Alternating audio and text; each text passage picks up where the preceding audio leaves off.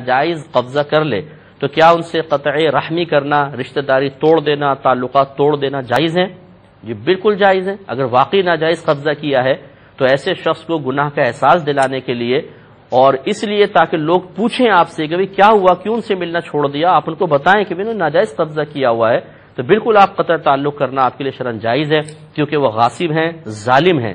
नबी करीम सल्लल्लाहु अलैहि वसल्लम की बुखारी की रिवायत है कि जिसने किसी की बालिश्त भर ज़मीन कब्जे में कर ली नाजायज तौर पर तो जब वो मरेगा तो ये ज़मीन एक तोक, सातों यानी तहे जो है ज़मीन की, एक तोक की शक्ल में, हार की शक्ल में उसके गले में डाल दी जाएगी और उसका वज़न वो कैसे उठा सकेगा? तो यहाँ जो ये प्लॉटों पे कब्जा करके बैठे हुए हैं, भतीजों की, भांजियों की जमीनें कब्जा करके, बहनों की जमीनों पे कब्जा करके आराम से बैठे खा रहे हैं और अपने पेटों को हराम से भर रहे हैं इनको मालूम होगा जब ये मरेंगे। जब इनके पेटों में बिच्छू भरेंगे तो फिर पता चलेगा कि ये हराम माल खाना किस कदर नुकसान का बाइस हुआ। ये तीन तलाक का मसला